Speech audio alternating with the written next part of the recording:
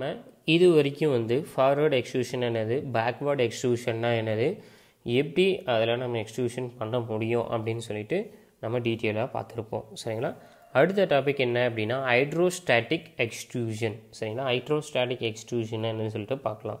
First definition to develop of the process to advantage of forward extrusion and also can be used for extruding semi-brittle and brittle material without cracking tendency. Next process developed using is hydrostatic extrusion. அதாவது இந்த பாயிண்ட்ஸில் என்ன சொல்லியிருக்கிறாங்க அப்படின்னா forward extrusion process அதோட அட்வான்டேஜை தான் நம்ம இந்த இதுலேயும் எடுத்துக்கிறோம் சரி அதே சேம் அட்வான்டேஜஸ் தான் இந்த இடத்துலையும் கிடைக்க போகுது. ஆனால் வந்து forward எக்ஸ்ட்ரூஷனில் brittle and semi brittle material நம்மளோட யூஸ் பண்ண முடியாது. அந்த டிஸ்அட்வான்டேஜை ரெக்டிஃபை பண்ணி நம்மளுக்கு ஹைட்ரோஸ்டாட்டிக் எக்ஸ்ட்ரூஷன் ப்ராசஸை கொண்டு வந்திருக்கிறாங்க சரிங்களா அதை எப்படி கொண்டு வந்திருக்கிறாங்க அப்படின்னு சொல்லிட்டு பார்க்கலாம் hydrostatic extrusion similar to the forward extrusion but size of raw material will be less than size of the container so that gap present between the raw material and container is filled by using hydrostatic liquid and force applied using ram will be transferred under raw material form of fluid pressure. சரிங்களா? இந்த இடத்துல என்ன சொல்லியிருக்கிறாங்க அப்படின்னா forward எக்ஸ்ட்ரூஷனோட same ப்ராசஸை தான் நம்ம follow பண்ணுறோம். ஆனால் வந்து ரா மெட்டீரியல் கண்டெய்னர் ஷேப்ஸுக்கு கிடையாது. அதை விட கம்மியாக இருக்குது இந்த கேப்பை வந்து ஹைட்ரோஸ்டாட்டிக் லிக்யூடை ஃபில் பண்ணி வச்சுருக்குறாங்க. சரிங்களா? இந்த இடத்துல ரேம் ஃபோர்ஸஸ் டைரெக்டாக ரா மெட்டீரியல் மேலே படாமல் ஃபோர்ஸில் இருந்து சாரி லிக்யூடில் இருந்து ப்ரெஷராக சரிங்களா? லிக்யூடில் இருந்து ப்ரெஷர் ஃபோர்ஸஸாக இந்த ரா மெட்டீரியல் மேலே அப்ளை ஆகுது சரிங்களா? ஆல் டைரெக்ஷனில் ப்ரெஷர் ஃபோர்ஸஸாக அந்த ரா மெட்டீரியல் மேலே அப்ளை ஆகும்போது நம்மளுக்கு டை ஓப்பனிங் என்ன ஷேப்ஸில் இருக்கோ அந்த ஷேப்ஸில் நம்மளுக்கு எக்ஸ்ட்ரூடட் ப்ராடக்ட் வந்து நம்மளுக்கு வெளியே வரும் ஓகேங்களா? இந்த இடத்துல கேஸ்கெட் ஒன்று அப்ளை பண்ணி வச்சுருக்குறாங்க ஏன்னா வந்து இந்த லிக்யூட் வந்து லீக்கேஜ் ஆகாமல் இருக்கிறதுக்காக இந்த கேஸ்கெட் ஒன்று இந்த இடத்துல ஃபிக்ஸ் பண்ணி வச்சுருக்குறாங்க நெக்ஸ்ட் பாயிண்ட் பாருங்கள் aims possible to applied uniform force around circumference because similar to the forward extrusion gives advantage and usage of hydrostatic liquid container wall frictions eliminated completely. சரிங்களா? ரா மெட்டீரியலுக்கும் கண்டெய்னருக்கும் இடைப்பட்ட அந்த ஃப்ரிக்ஷன்ஸை நம்ம கம்ப்ளீட்டாக எலிமினேட் பண்ணிட்டோம். ஏன்னா வந்து நடுவில் ஹைட்ரோஸ்டாட்டிக் லிக்யூட் இருக்குது அதனால் எந்த வித காண்டாக்டுமே இல்லை. ஸோ அந்த ஃப்ரிக்ஷனை கம்ப்ளீட்டாக நம்ம எலிமினேட் பண்ணியாச்சு. இந்த கம்ப்ளீட்டாக ஃப்ரிக்ஷனை எலிமினேட் பண்ணதுனால நம்ம இந்த இடத்துல செமி பிரிட்டில் அண்ட் பிரிட்டில் மெட்டீரியலை நம்மளோட யூஸ் பண்ணி இந்த இடத்துல எக்ஸ்ட்ரூஷன் நம்மளோட பண்ண முடியும். கரெக்டுங்களா? நெக்ஸ்ட் பாயிண்ட் பாருங்கள்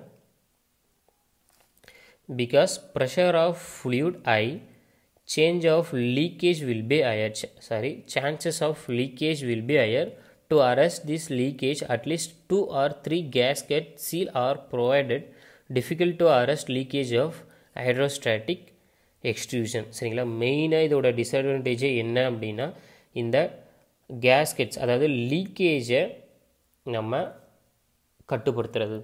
சரிங்களா? ஹை ப்ரெஷரில் வரும்போது அந்த லீக்கேஜை கட்டுப்படுத்துறதுக்காக three or two or three கேஸ்கெட்ஸை சீல்ஸை நம்ம ப்ரொவைட் பண்ணியிருக்கிறோம் சரிங்களா? அப்படி ப்ரொவைட் பண்ணியிருக்கும் போது அதை அரெஸ்ட் பண்ணுறது டிஃபிகல்ட் அப்படின்னு சொல்லிட்டு சொல்லியிருக்கேன் next hydrostatic extrusion recommended to semi brittle and brittle material and high strength super alloy not recommended for soft and ductile material அதாவது ரெக்கமெண்டேஷனில் என்னென்ன மெட்டீரியல் சொல்லியிருக்கிறாங்க அப்படின்னா semi brittle and brittle and ஐஸ்டன் super alloys எல்லாமே வந்து நம்ம இந்த ஹைட்ரோஸ்டாட்டிக் எக்ஸ்ட்ரூஷன் ப்ராசஸ் மூலியமாக வந்து நம்ம ஃபைனல் ப்ராடக்டை கொண்டு வர முடியும். சரிங்களா? எது ரெக்கமெண்டேஷன் பண்ணலை அப்படின்னா சாஃப்ட் அண்ட் டக்டைல் மெட்டீரியலை இவங்க வந்து ரெக்கமெண்டேஷன் பண்ணலை. அதாவது ஹைட்ரோஸ்டாட்டிக் எக்ஸ்ட்ரூஷன் ப்ராசஸில் சாஃப்ட் அண்ட் டக்டைல் மெட்டீரியலை நம்ம யூஸ் பண்ணக்கூடாது. சரிங்களா? முக்கியமான பாயிண்ட்ஸ் இதெல்லாம் கரெக்டாக நோட் பண்ணி வச்சுக்கோங்க. Next hydrostatic liquid is used divided into two types சரிங்களா? ரெண்டு டைப்பாக ஹைட்ரோஸ்டாட்டிக் லிக்யூடை அவங்க கிளாஸிஃபிகேஷன் பண்ணியிருக்கிறாங்க. மொதல் டைப் அட் ரூம் டெம்பரேச்சர் அடுத்தது அட் எலிவேட்டட் டெம்பரேச்சர் சரிங்களா? அட் ரூம் டெம்பரேச்சர் எக்ஸ்ட்ரூஷன் பண்ணும்போது என்னென்ன யூஸ் பண்ணலாம் அப்படின்னா glycerine SI oils iso pentane castor oil and will be extra will be used அதுவே வந்து elevated temperature எக்ஸ்ட்ரூஷனில் polymers liquid glass will be used ஓகேங்களா இந்த மாதிரி டெம்பரேச்சருக்கு டிபெண்ட் பண்ணி அவங்க டிஃப்ரெண்ட் டைப்ஸ் ஆஃப் ஸ்டாட்டிக் லிக்யூடை அவங்க கொடுத்துருக்குறாங்க. இதையும் கொஞ்சம் கரெக்டாக நோட் பண்ணி வச்சுக்கோங்க.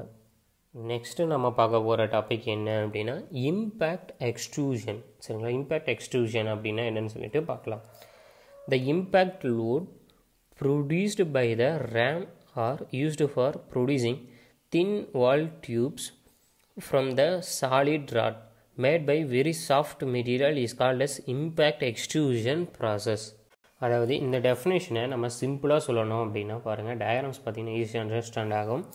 ஒரு சாஃப்ட் மெட்டீரியலை எடுத்துக்கிட்டு ஒரு ஃபிக்ஸ்டு கண்டெய்னரில் ரேம் ஃபோர்ஸ் மூலியமாக நம்ம புஷ் பண்ணும் போது ஸ்மால் திக்னஸ் அமௌண்ட் அமௌண்ட் உள்ள இந்த டியூப் ஷேப்ஸில் நம்மளுக்கு ஃபைனல் ப்ராடக்ட்ஸ் வந்து கிடைக்கிது. இந்த ப்ராசஸை தான் வந்து என்னென்னு சொல்கிறாங்க அப்படின்னா இம்பேக்ட் எக்ஸ்ட்ரூஷன் அப்படின்னு சொல்லிட்டு சொல்கிறாங்க next point this process taken as similar that of backward extrusion majority of material is flowing of backward direction of ram சரிங்களா?